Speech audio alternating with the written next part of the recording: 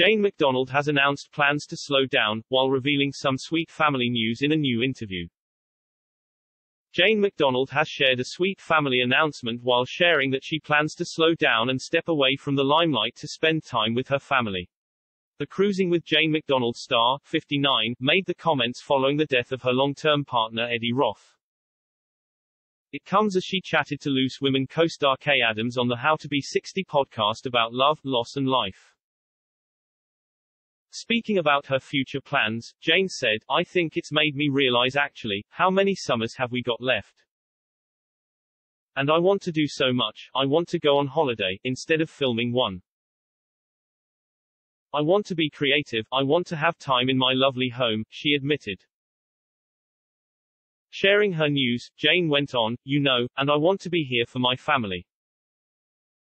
You know, my niece is just about to have a baby and we're all very excited about that. The star went on to reveal that Shush is planning to step away from her hectic schedule and take time to slow down.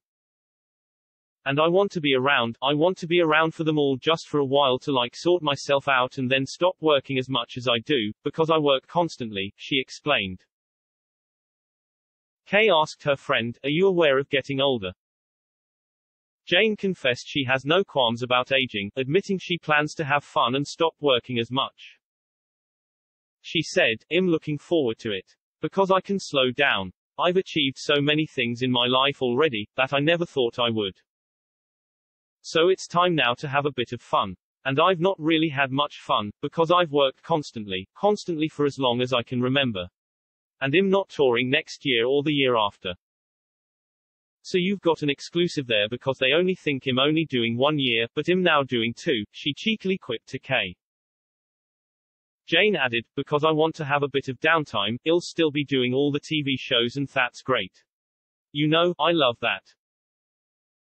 However, Jane admitted that she struggles more with one aspect of her work more than when she was younger. She told Kaye, but the touring I found now is harder than it used to be and I'm thinking well, why? Why are you doing it? Just have a bit of a break and see how you feel. Jane shot to fame with her first appearance on BBC One's The Cruise. Since then Shush has travelled the world and most recently fronted Jane McDonald, My Yorkshire.